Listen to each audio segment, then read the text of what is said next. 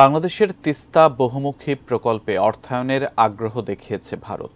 পররাষ্ট্রমন্ত্রীকে ভারতের এ আগ্রহের কথা জানিয়েছেন দেশটির সফররত পররাষ্ট্র সচিব বিনয় মোহন কোয়াত্রা।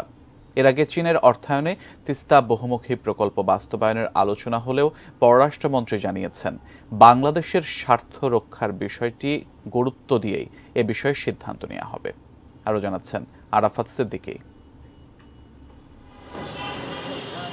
প্রধানমন্ত্রী শেখ হাসিনার সম্ভাব্য ভারত সফরের নানা দিক নিয়ে আলোচনা করতেই বুধবার দুদিনের সফরে ঢাকায় এসেছেন ভারতের পররাষ্ট্র সচিব বিনয় মোহন কোয়াত্রা। বৃহস্পতিবার সকাল থেকেই ব্যস্ত সময় পার করেন তিনি। সকালে প্রধানমন্ত্রী শেখ হাসিনার সঙ্গে সৌজন্য সাক্ষাৎ শেষে বেলা এগারোটায় আসেন পররাষ্ট্রমন্ত্রী ডক্টর হাসান মাহমুদের কার্যালয়ে সৌজন্য সাক্ষাৎ করতে। এ সময় ভারতের ভিসা প্রক্রিয়া সহজ করা, সীমান্ত হত্যা বন্ধ সহ নানা বিষয়ে আলোচনা হয়েছে বলে জানান পররাষ্ট্রমন্ত্রী। ব্রিফিংয়ে মন্ত্রী জানান, ভারতীয় ভূখণ্ড ব্যবহার করে নেপাল থেকে চল্লিশ মেগাওয়াট বিদ্যুৎ আনার বিষয়টিও প্রায় চূড়ান্ত।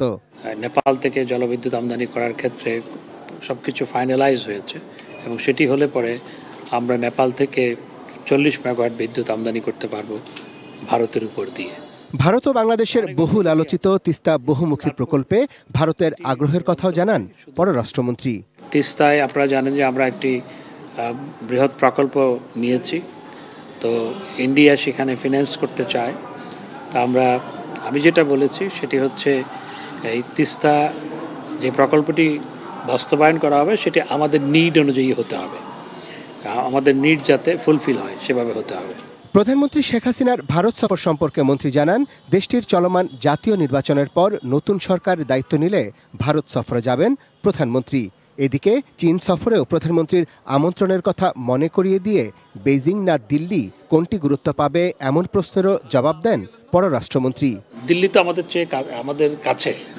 বেজিং একটু দূরে। Arafat Siddiqui ATN news Dhaka.